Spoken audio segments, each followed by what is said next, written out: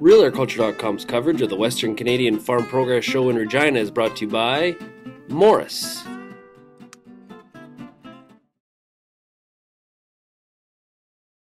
Our product AGROSOLution is a newly registered product uh, that is new available on the Canadian market. It's a foliar uh, applied fertilizer. Um, fer it's registered as a fertilizer supplement and it's unique in the respect that it's uh, CO2 fertilization from the, for, from the inside. Promotes the photosynthesis of the plant and um, by supplying the plant with increased levels of CO2.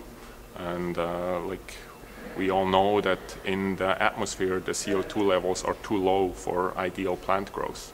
And by um, using our product, um, it's applied to the leaf surface of the plant and uh, is enters the plant through the stomata and then releasing uh, CO2 inside the plant and so supplying the plant with a steady uh, supply of CO2 and through that we get a we get ideal plant growth.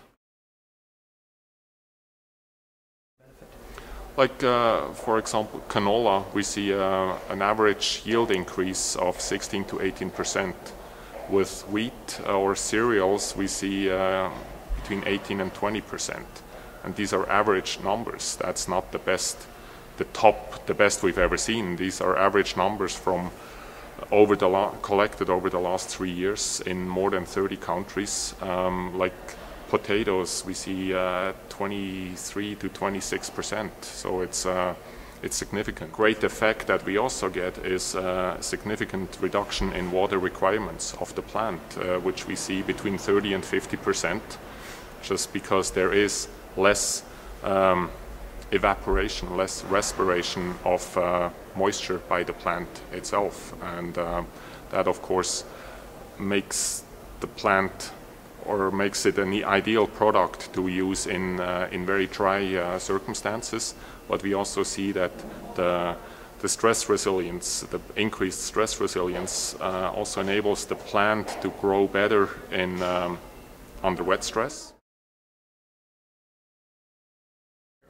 No, there is no other product that uh, focuses on CO2 fertilization on the product. So we're uh, we're the first product on the market, and um, so we expect others to come in eventually once they see what our product can do. But right now, there's really we're the only one having that product, and uh, Greenfield Fertilizer Corp is uh, exclusive importer of AGROSOLution to Canada.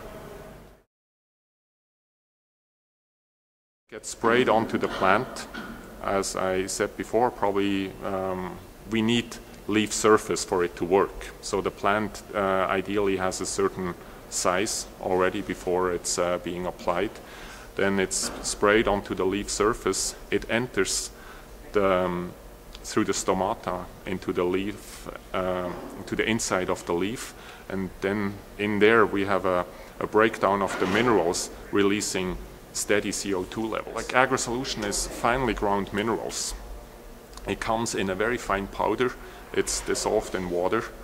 Um, however, it can be mixed with any other liquid application that you do with herbicides or um, fungicides or other liquid uh, uh, yield um, boosters, yield enhancers. So it does not require a separate pass, which is, we believe, very important because it uh, it doesn't mean using our product uh, translates into more work for the farmer. Uh, it depends on the crop. Uh, for the most common crops, it's, um, it requires, or we recommend two applications. And um, like example, canola being the number one cash crop, uh, we, it requires two applications, uh, total of 4.9 pounds over the two applications. And uh, so we look for canola per acre input cost is about um, $23.5 per acre. Uh, but if you look at, um, at the direct increase in yield and what that, uh, based on last year's number, yeah, we're looking at a gross increase of uh, $78 minus the $23, we're still over $50 per acre uh, of extra cash in the pocket for the farmers.